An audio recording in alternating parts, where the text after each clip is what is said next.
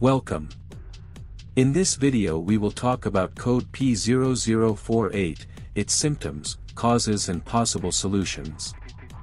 The P0048 trouble code indicates that there is a high voltage condition in the turbocharger or supercharger boost control circuit.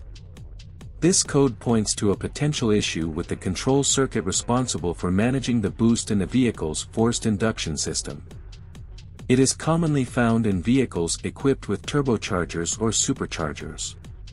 Code symptoms P0048 1. Reduced engine performance. 2. Lack of power during acceleration. 3. Illuminated check engine or service engine soon light on the dashboard. Causes of the code P0048 1. Malfunctioning turbocharger or supercharger boost control sensor. 2. Wiring or connector issues within the control circuit. 3. Problems with the engine control module ECM.